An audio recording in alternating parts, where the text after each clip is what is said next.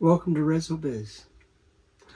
Have you ever had a piece of wood or something you were working on and you're thinking there's an idea there, but I don't know what to do with it? There's something, though. There's something interesting that could be done with it. Yeah, I just have to keep thinking on it. Welcome to the next episode of the Holey Reso Build. Not holy as an angelic, as my wife has made it look like with the halo around my head and all that nonsense, but holy, like there's lots of holes in it. Here we go, episode number two. Hi, I'm Byrl with Byrl Guitars, and this is ResoBiz, where everything is greater with a resonator.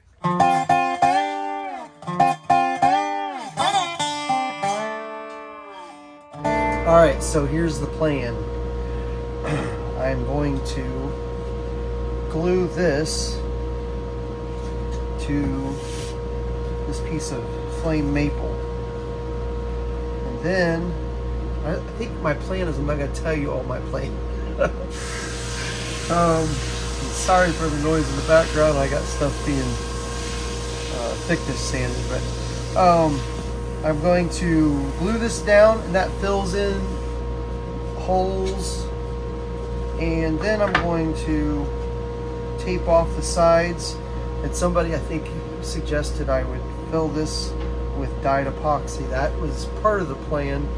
Um, the part I don't know about is what color would I dye it?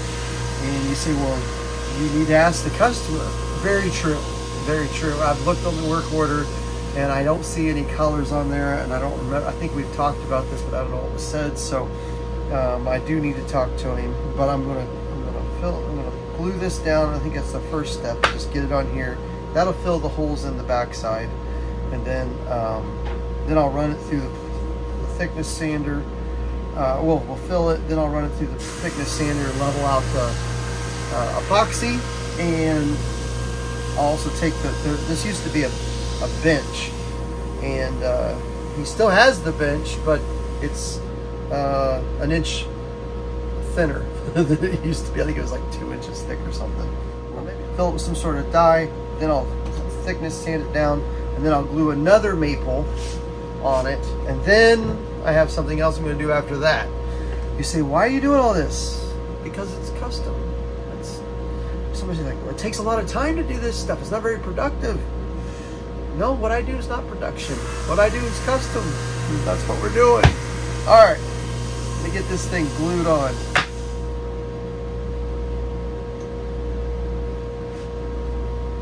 Oh, and if I didn't say what this is, I know it may not look like anything. What are you doing, bro? I'm, I'm, I'm filling it, yes, but for what?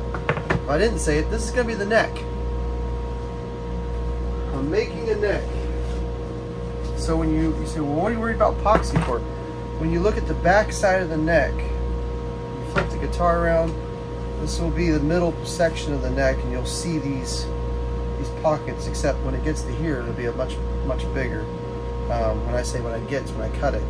But you'll have these pockets filled with epoxy. And that will show in the neck and you'll know, oh look, it's uh, cypress, uh, Pecky cypress uh, in the neck.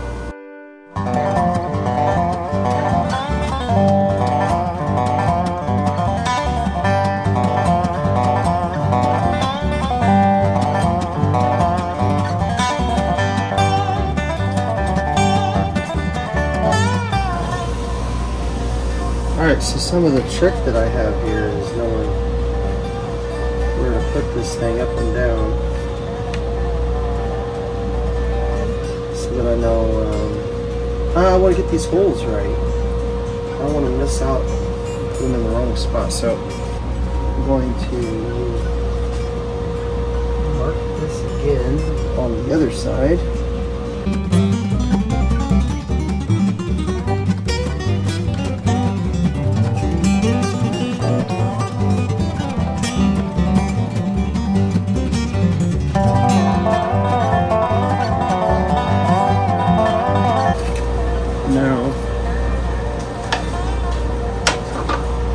Where to put this.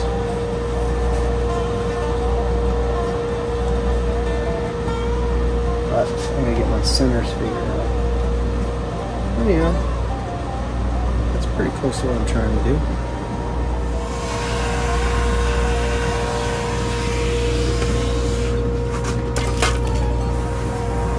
And there we go. Got that in. I better get this that dry like that. Ooh, I think that one's getting ready to break on me. Here is the back strap I'm making for the, to go run down the center of the back. And I've got to fill in with epoxy and then I'll size it and we'll, well, there's all sorts of stuff to do to it but I think that's gonna be cool. That's in that's off the end grain. So it's not this piece exactly but it's like cutting off pieces like that. So running the saw that way. I did it on a bigger piece but when you glue those together? And then I fill it with epoxy sand it flush or and then um, size it the size I want and I'm going to put trimming on the edges and then it gets sanded super thin. And then we put it as the back strap. Um, and now I'm not just setting coffee on here. This board's a little warped and I'm, I'm weighing it down. Um, but the uh, back strap will go down the center of this. It's all roughed in. So I'll be gone when it's done. But this is pretty though. It is so pretty. And I wouldn't even fuss with this silly board because it is, it is got a little, it's got a weird bend, which is, it's all going to get braced and it, it don't matter really, but um, it's just a hassle to work with. And I wouldn't even mess with it except it's so pretty. All right, well, if you like the video, oh, hang on. There we go. If you liked the video, uh, hit the like button if you would. If you haven't subscribed, do that also. And stay tuned while I wait. Hopefully next week we will have epoxy. Made it make application of it. We're waiting on epoxy. Uh, and we'll get this thing so that it doesn't just come out. Pieces fall off. We'll see you next week. Thank you.